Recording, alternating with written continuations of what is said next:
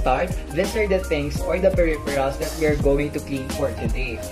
So this is the laptop that we're going to clean. This is the laptop I use and we're going to clean the monitor and the keyboard of the laptop. Aside from that, we're also going to clean the mouse. So these are the materials that we're going to clean for today. The cleaning tools that we will be using for today includes the microfiber cloth. This microfiber cloth is used for wiping surfaces without leaving any scratches. Next is the cleaning solution and this bottle holds the cleaning solution. The cleaning solution is a mixture of water and alcohol to disinfect the surface of the devices you're going to clean. And lastly, the air blower. This air blower generates air to blow away the dust particles on the devices.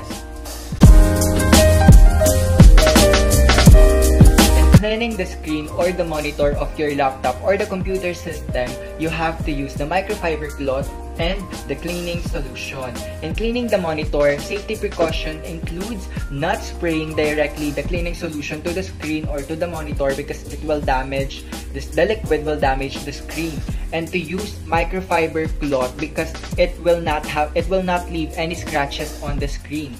Plus, you have to remember to unplug first the monitor of your computer system before cleaning it so you won't be electrocuted. To properly clean the monitor, you have to spray the cleaning solution to the microfiber cloth.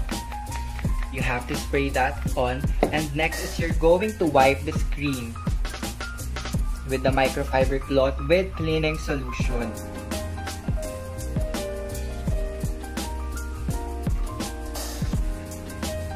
Now you're done cleaning the monitor or the screen of your laptop or the computer system. To clean the keyboard of your laptop or the computer system, you're going to need the cleaning solution, the microfiber cloth, and an air blower. The safety precaution regarding cleaning the keyboard of your laptop or the computer system is that you don't want to directly spray the cleaning solution onto the keyboard because the liquid might flow to the crevices on the keyboard and damage the board. So what you're going to do is blow away the dust particles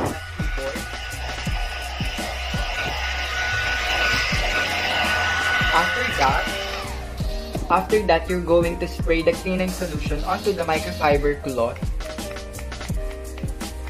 And then you're going to wipe the keyboard clean.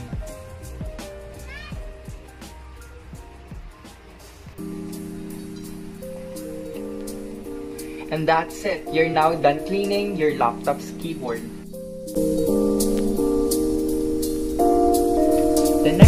Peripheral that we're going to clean is the mouse. In order for us to clean this mouse, we need to we need to have the cleaning solution and the microfiber cloth. In cleaning this mouse, you have to remember it as a safety precaution to not directly spray the cleaning solution onto the mouse at the front or at the back because when you directly spray the cleaning solution to the mouse, it may damage the sensory lens and will cause the mouse to malfunction. Now, we, we need to clean the mouse. First, we have to spray the cleaning solution to the microfiber cloth.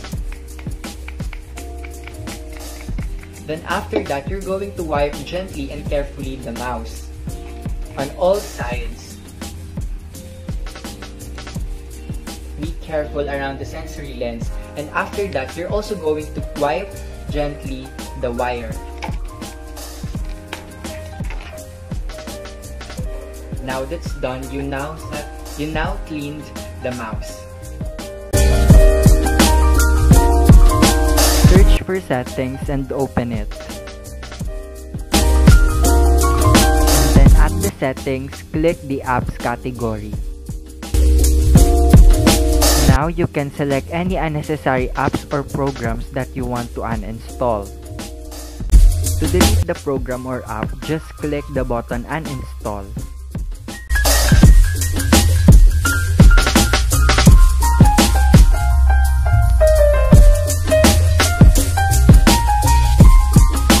You're done deleting unnecessary apps.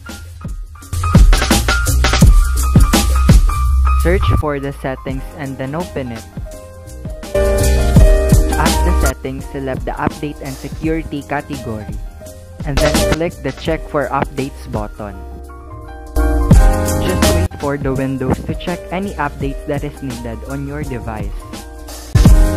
When done, it will now download any needed updates on your device. Now your Windows is updated. Search for settings and then open it. Select the update and security category on the settings. Proceed on clicking Windows Security and then open Windows Security. Click the Virus and Threat Protection button and then do a quick scan. System will carefully scan if there are any viruses present on your device. As you can see, there are no viruses detected so we're now done.